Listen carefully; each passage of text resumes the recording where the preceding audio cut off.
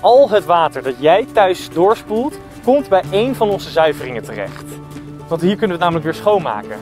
Alleen met dat water is wel iets bijzonders aan de hand. Hey, en eh Sofia, vertel, wat is er nou zo bijzonder aan dit afvalwater dan? Nou, het afvalwater, zoals je ziet, ja, die, die ziet er bruin uit, smerig. Maar er zitten waardevolle grondstoffen in.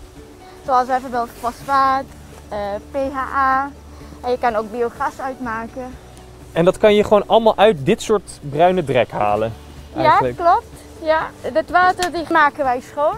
En het schone water eh, lozen we op het oppervlaktewater. En dat wat overblijft, dat is een, ja, een, eh, een bruine vieze massa. Dat eigenlijk jouw, ja, jouw poep is, die door bacteriën opgegeten is.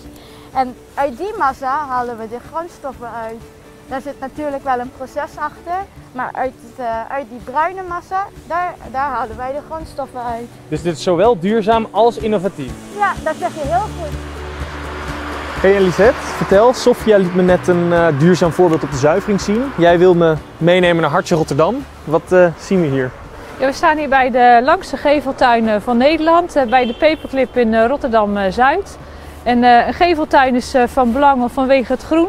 En eh, met het eh, veranderend klimaat komen er steeds meer hoosbuien. Dus dan kan dat water het groen in. Het is de langste geveltuin, hè? Het gaat inderdaad een eind door.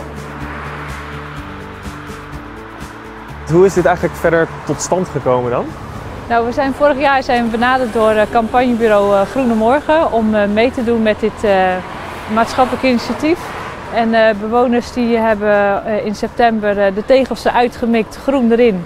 En daarmee is er een vergroting van de sponswerking van de stad Rotterdam. En dat, eh, dat is goed voor de natuur, voor de mensen en voor het water en dus daarmee ook eh, voor het waterschap. Het is echt een win-win.